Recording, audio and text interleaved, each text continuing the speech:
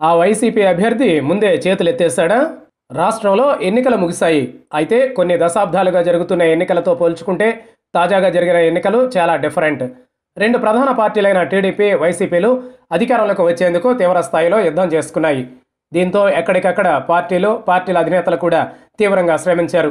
అభ్యర్థుల ఎంపిక నాటి నుంచి అత్యంత జాగ్రత్తలు తీసుకున్నారు. కేవలం గెలుపు గుర్రాలకు మాత్రమే అవకాశం ఇవ్వాలని నిర్ణయించుకుని ఆ దిశగానే అడుగులు వేశారు. ప్రతి విషయాన్ని ఆచితూచి నిర్ణయించారు. అభ్యర్థులను కూడా చాలా జాగ్రత్తగా ఎంపిక చేసుకున్నారు. ప్రచారం నుంచి పోల్ నిర్వహణ వరకు కూడా అన్ని విషయాల్లోనూ అప్రమత్తంగా వ్యవహరించారు. అయితే వైసీపీలో జరిగిన టికెట్ల కేటాయింపులో మాత్రం కొంతమేరకు తేడా కొట్టినట్లు అనిపిస్తోందని అంటున్నారు పరిశీలకులు. ఉదాహరణకు ప్రకాశం జిల్లాలోని పరుచూరు నియోజకవర్గం టికెట్ కేటాయింపు అంశం వైసీపీలో అనేక తర్జన భర్జనలకు కారణమైంది.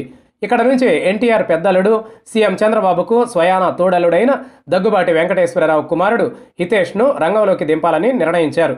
అయితే ఆయనకు అమెరికా పౌరసత్వం నుంచి ఇబ్బందులు రావడంతో చివరి నిమిషంలో దగ్గుబాటి నేరుగా రంగంలోకి దిగారు. వాస్తవానికి దగ్గుబాటికి ఎన్నికల్లో పోటీ చేయాలని లేదు. అందుకే ఆయన వారసుడిగా హితేష్ను పరిచయం చేయాలని అనుకున్నారు.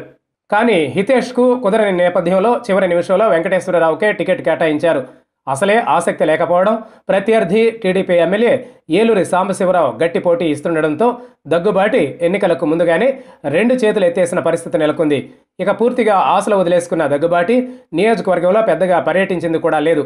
ప్రచారం చేసింది కూడా లేదు. తనకున్న ఏదో నాలుగైదు పాత పరిచయాలను మాత్రమే కొనసాగించారు.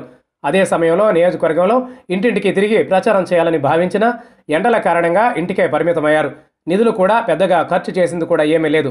దీంతో ఎన్నికలకు ముందుగానే ఆయన కాడి పడేశారని ఇక్కడ ఎన్నికల పోలింగ్ కూడా ఏకపక్షంగానే జరిగిందని అంటున్నారు. మొత్తానికి వైసీపీ ఖాతాలో ఒక సీటు ఫలితాలకు ముందుగానే పోయిందని అంటున్నారు.